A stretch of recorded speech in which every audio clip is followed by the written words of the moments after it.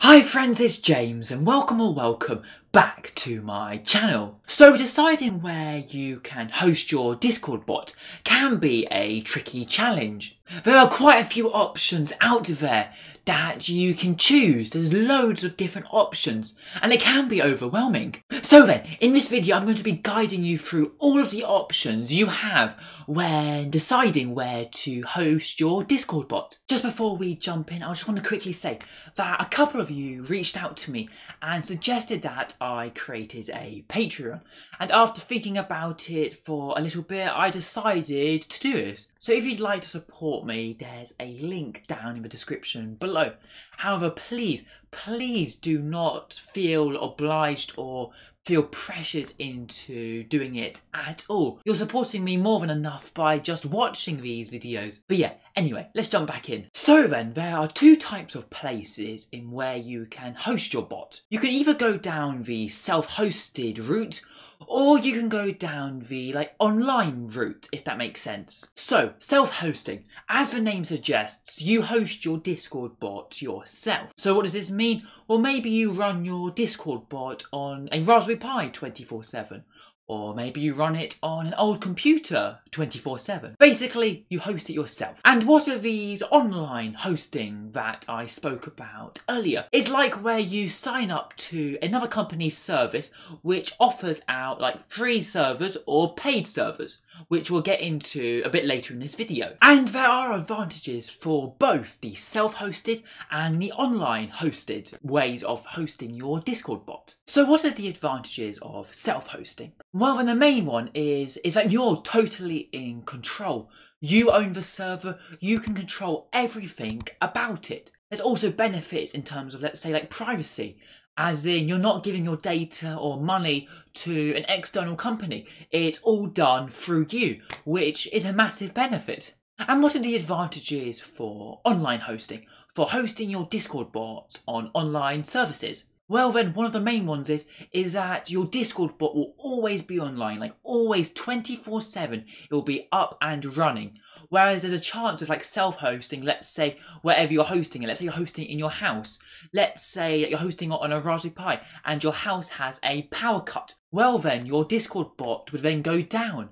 However, you wouldn't have this problem if you were hosting it using an online service as that online service would have multiple servers all over the world, which will always keep your Discord bot up and running. And as well as that, even if it doesn't have multiple servers all over the world, even if it just has one single server, they'll take into precautions to prevent a power cut or forever going down. So then, as you can see, there are advantages to both. So then, I'm now going to go through the options that you have for self-hosting and for online hosting. These will include like free and paid options.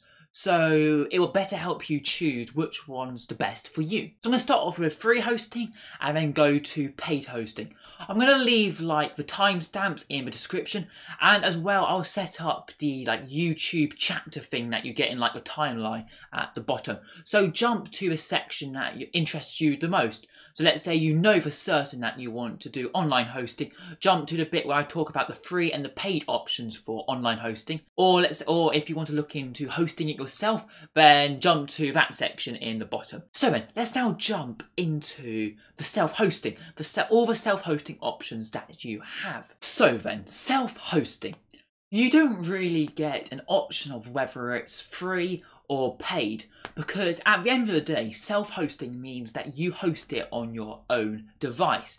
And to get that device, most likely you will have had to have paid for it. Or maybe you've given it as a gift or something, so technically it could be free. But you get what I'm saying anyway, that doesn't matter. So what an example of like some devices in which you could host your Discord bot on? Well then let's say a Raspberry Pi, or maybe an old computer. So maybe you've had an old computer that you used for like the past five years, but you recently got a new one. You could set it up so that, that your old computer that you had been using in the past runs your Discord bot completely 24-7. You could just plug it into power, start the code running, and then just leave it. Just plug it in, leave it, and put it in a corner, and never touch it again. And that will then continuously run your Discord bot. In terms of the Raspberry Pi option, well then you could potentially buy a Raspberry Pi and put the code on there and run it on there. Basically, the Raspberry Pi and the separate computer, the one I just mentioned about, are basically the same because a Raspberry Pi is just a miniature computer. I've, in another video, I've spoken about exactly how to get your Discord bot up and running on a Raspberry Pi as well as a separate computer. So I'll leave a link in the description down below for that, as well as a title card up here. So yeah, that's all I can really say about self-hosting. I've spoken about the advantages and I've spoken about the options that you have when it comes to self-hosting, as in like the devices and how you could set it up. So then, let's jump into the online hosting because this is where it can get a bit more confusing and difficult because there's now also the options for getting a free online service or paying for one. So yeah, let me explain about these two different options that you have and then I'll go into a bit of detail about which online services I'd recommend. So what's the difference in hosting your Discord bot on a free online service or a paid online service? Well, then, with a free online service, you may not be getting all the features that you might get if you used a paid online service or you hosted it yourself via the self-hosting option that I spoke about earlier. So what I mean by this is, is that like the server that you get with the free option that your Discord bot would be running on may not be that powerful. So potentially it may not be able to run your Discord bot However, that's really unlikely because Discord bots don't require much power, much processing power at all. But something else that you might want to take into account is that with like the free service, you may not get full control. And what I mean by this is, is that you may not be able to install extra packages or Python packages that you might want to utilize with Discord bots. Like, just for an example, in like part four or five of my Discord bot series that I'm doing here on YouTube, link in the description if you haven't heard about it, is that I guided you through installing a package called FFmpeg, and this allows you to play audio files with your Discord bot. And there's a really high chance that if you're using a free online service, you won't have the ability to install FFmpeg.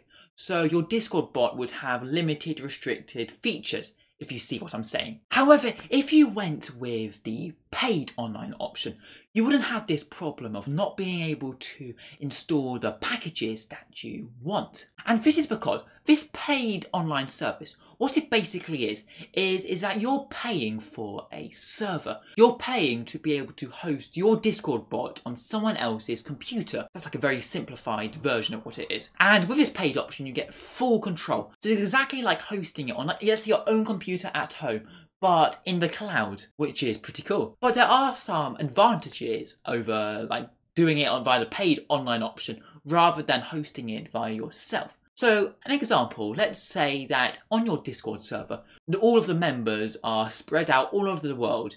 Let's say you had some people in America, Italy, uh, Northern Ireland, and let's say you would, well, then geographically, they're really far away from each other. These countries are really far apart. So the delay from the person in Japan using your Discord bot from in Northern Ireland would be quite a long time, can't technically. But with the option of going with the paid, this allows you to um, distribute multiple servers all over the world which are running your Discord bot code. So wherever your members are in the world, wherever they are geographically the closest server to them, it would connect to. So the delay would be the shortest. Hope that makes sense. So I've spoken about the differences between free and paid. Now let me show you best options for both categories, the best services to use for both categories. So let's jump in. We'll start off with the free category. What best free services are there out there for you to host your Discord bot on? Well then, a very popular one is called REPL, REPL.it. It allows you to host Discord bots. Basically, it just allows you to run your code on a server for free. And yeah, it's good. It does the basic functions. It's probably one of the best free options out there. However, there are some downsides like the installing packages. However, let's say you're just wanting to build a Discord bot to do basic features. So let's say, I don't know, uh, welcome a user when they join a server, or um, I don't know, a ban moderation sort of thing. Then REPL would be perfect for that because you could write the code, put it onto REPL, And yeah, it'd be fine, as in, I personally think that would be fine. However, if you're looking to do some more complicated things, like playing audio, other advanced things, then REPL definitely wouldn't be the option for that, because it just doesn't allow for that. So then, now on to the paid options. So basically, when paying for it, all you're basically wanting to pay out for is a basic Linux server. Any Linux server would really do its job. So just go into Google and type, I don't know, like best VPS server. And if you don't know what VPS means, it stands for Virtual Private Server. And that would allow you to run your Discord bot. However, the ones that I recommend, the ones that I recommend you use are this. I recommend you use one from Amazon, Amazon's AWS, and this is called EC2. And basically what EC2 is, is what I've said before, it's just basically a online server. It's just basically your own server. That's, that's all it is. And you can run your Discord bot on it. You can run it with all of the different audio features and functions. But the one really good thing I like about, about Amazon's AWS EC2 server is that you get 12 months free. You can get 12 months free usage of this server when you sign up for AWS which is pretty cool. However, after those 12 months, you'll have to pay something like maybe a pound a month or something around that amount, as in it's not much at all. So I personally, personally think that if you're looking to make like a proper professional Discord bot, I'd recommend hosting it on an EC2 server on Amazon. Honestly, you can't get better than that. If you don't know how to set up an EC2 server and you really want to host a Discord bot on there, drop me a comment down below saying that you want this and I'll create a video on it. So yeah, so then to wrap this up, what would I recommend you do? Well then, I'd recommend you use the 12 months free EC2 server that Amazon AWS gives you, as it's just an utterly amazing deal basically a free online server in the cloud for free for 12 months.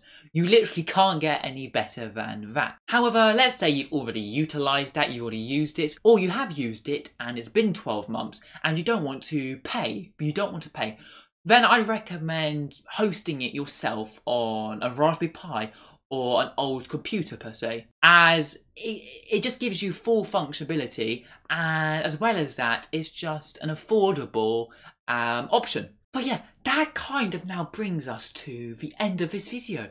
I hope you've enjoyed it. I hope you've learned something and that I've been able to help you in deciding what's the best option to go for when hosting your Discord bot. If you've enjoyed it at all, please do smash the like button as it would really help it out in the YouTube algorithm. It pushed this video to more people who would potentially uh, like to see this. But yeah, also when you're down there, please do consider subscribing. I'd love for you to join the family. But anyway, that's all for now and I'll catch you all in my next video. See ya!